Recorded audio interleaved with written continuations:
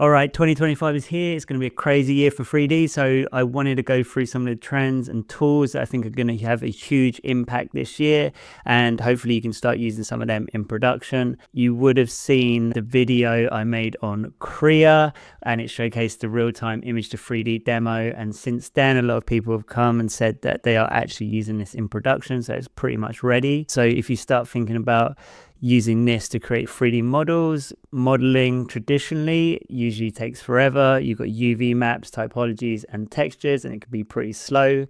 Another one I think you should keep an eye on is Meshy. So we did a video 12 months ago on this and the progress that's made is pretty staggering. So this is actually the model we created back then. So they've added a few new tools. Let's start with this motion.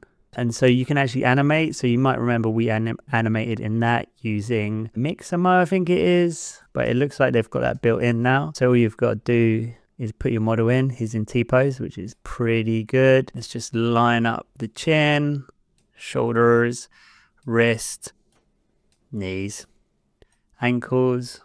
Maybe pull them up a little bit. And again, Meshy, people are using this all the time. They're downloading these models, putting them into Blender or 3ds Max, and it's really good for specific models. So we've got an AI generated 3D model there. Anyway, this can be downloaded. Let's see if we can run. There we go. Tons of animations here as well. So how this works is new model and then we upload the sneaker. So kind of like this one. You upload this, has the name here and you just hit generate and they will generate these four and then you click on the one that you think will work the best. So I think I click this top left one and it will generate this. Um, so first let's have a look at the wireframe, which I think is very, very good. And then the material as well, if we turn that off, not bad, pretty crazy here. But again, you can you can remesh it if you want, texture, animate. So perhaps we can, okay, that's the texture that's on it. So we can eh, try this AI texture editing. Maybe faces are just tough because I've noticed like a lot of the people and characters are always quite cartoony. They're AI generated. I've not seen like super realistic ones. So maybe that's something to do with it. Uh, sneaker, they call them, don't they? Sneaker. All right, that's a bit of an improvement. That's much better. All right, apply to model. I'm not on pro, so we can't actually do that, but you can do that. And then you'll get this model. Obviously, yeah, it needs some cleanup. Enlarge the texture. Here we go. Um, so you, like this area here, if the AI texturing didn't work, you could actually go in here and clean it up a little bit. But when you use this, you could put this in your scene, render it out, and then use something like Magnific, which we're going to look at in a minute. This will work. I know it'll work because I've done it. So this is how you can generate models. Perhaps not hero models yet, but if you need a specific thing like a West Highland White Terrier dog, then these are certainly can be used for like background props and then upscaled. So this year, Meshy is going to be big. And something else I want to show you is Meshtron. This is like an M NVIDIA research. And what this can do is convert point clouds into meshes and much cleaner, much nicer. So worth keeping an eye on Meshtron as well. And why I think this is really cool is because the whole city of Tokyo is available to download and when you start combining something like this, like all of this, I think it's point cloud data, and then you use Meshy to make it into polys, super powerful. So I think this is going to be a really interesting thing to watch this year. All right, so AI in post production and upscalers especially are going to play a huge role. So what we're seeing on screen right now is Chaos Enhancer, which is actually built into Enscape. I'd love to see this in other products. So the big thing here, I think, is that this is actually built into your software. So you render your image and then you run your upscaling within your frame buffer and you get these improvements. So these are specifically for people and vegetation and you literally just click a button in whatever software you're rendering in. So this is huge. And then obviously we have got Magnific combined with Meshy, which we just looked at. This is actually the old video, so this is how I was adding animation to the model. Then we started using Magnific to actually upscale the final result and get something that we could actually use in our image. So there's our chef. And then, yeah, using Magnific and some of the creativity and resemblance, etc., we actually improved that and then brought into Photoshop. So Magnific is crazy powerful. There's another video here I did last year showing the upscaling, but then also using prompts to change the location of our uh, Land Rover here. So we went through and we actually used style transfer and we were kind of doing like a bit of an ad campaign to show the Land Rover in various terrains.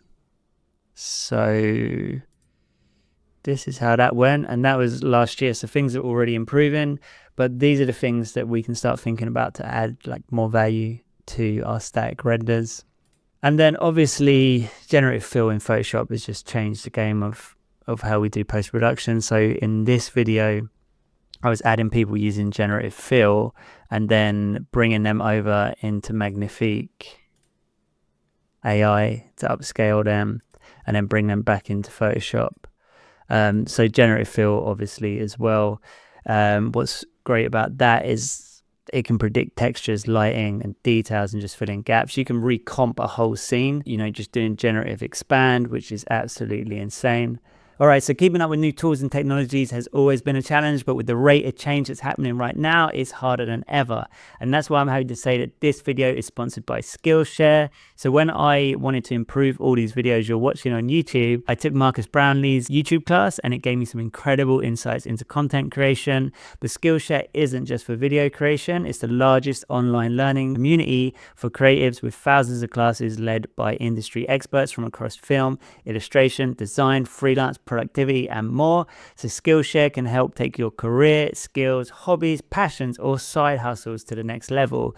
And it's packed with 3D modeling and rendering classes with 14 by yours truly, including one that I've got on Magnific AI, the tool that we were just looking at. And the best thing here is the first 500 people to use the link in my description are going to get a one month free trial on Skillshare. So you can go and watch all my classes and anything else you're interested. So go get started on that today. So like I just said, staying up to date with these new tools and techniques is essential and AI is making this faster and easier than ever. So I saw this video by Polyfjord uh, and he is using Gemini Voice Assistant in Blender to help him create a scene and animate and answer questions. And then I believe he even started making scripts so that it would push the script straight into Blender and he ended up putting together this animation.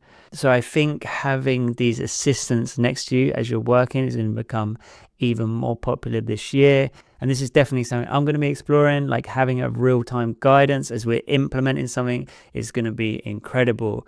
And something else I've been exploring. So, this is our coffee hours. They're weekly. So, come over to Skool. They're free. Come join. Uh, and we just discuss 3D. And in this video, I'm talking about how. So, we created the Gaussian Splats video. And one of the things that come up from the community of this coffee hour was like how to get shadow catchers under every object. So I used ChatGPT to help me write a script that when you run it, it will apply a shadow catcher to every object in the scene. Um, something that I probably wouldn't have been able to do without a without ChatGPT. So like with a little bit of back and forth, I gave it a description of what I wanted. It wrote the max script. Then we run it, and it will save me a ton of time. So this is another way that I think that these large language models are going to help us in our creative endeavors. So looking at all this, the world of 3D is evolving faster than ever and it's transforming how we create and deliver our work. And if you want to connect with a community of 3D artists that are navigating these trends, whether with excitement or sometimes uncertainty, then come join our free Skool community. I'd also recommend checking out this video. And thanks again for Skillshare for sponsoring this video.